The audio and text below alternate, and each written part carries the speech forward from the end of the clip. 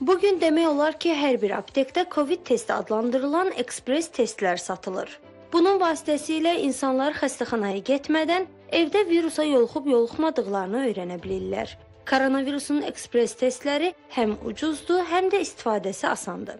Elə bu səbəbdən də bir çox insanlar PCR testi vermək əvəzinə bu yolla virus daşıyıcısı olub olmadıqlarını bilmək istəyirlər. Bəs bu testlərin dəqiqliyinə inanmaq olarmı? Mütəxəssislər də bildirir ki, ekspres testlərin effektivliyi PCR testlərlə müqayisədə zəifdir. ekspres testlərin müəyyən həssaslığı var. Hal-hazırda beynəlxalq normaya görə onların ən azı həssaslıq 75% olmalıdır ki, biz onları bir dürüst nəticə kimi qəbul eləyək.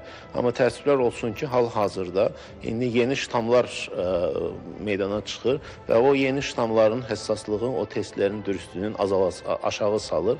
Hardasa bəzi ə, tədqiqatlar göstərir ki, 50 hətta 40%-ə qədər aşağı düşür. Müsahibimizin sözlərinə görə ekspres testlərdən simptom olmadığı halda koronavirusa yoluxmuş şəxslə ünsiyyətdə olmusunuzsa istifadə edə bilərsiniz. Ola bilər ki, heç simptom yoxdur, amma hansısa bir təmasda olub, kontakt olubsa və ilk özünü sınaqdan keçirmək ki, məndə simptomsuz virus var, daşıyıcı yoxsa yoxdur, bu testdən istifadə etmək olar. Amma yenə də bilmək lazımdır ki, onların effektliyi, dürüstlüyü o qədər də çox deyil.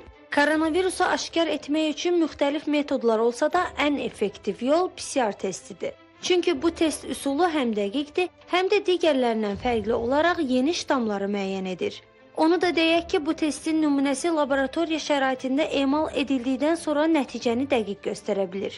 Ekspres nümunələri isə laborator şəraitdə yoxlamaq mümkün deyil. Buna görə də bu testin nəticələri virusun təsdiq edicisi hesab oluna bilməz.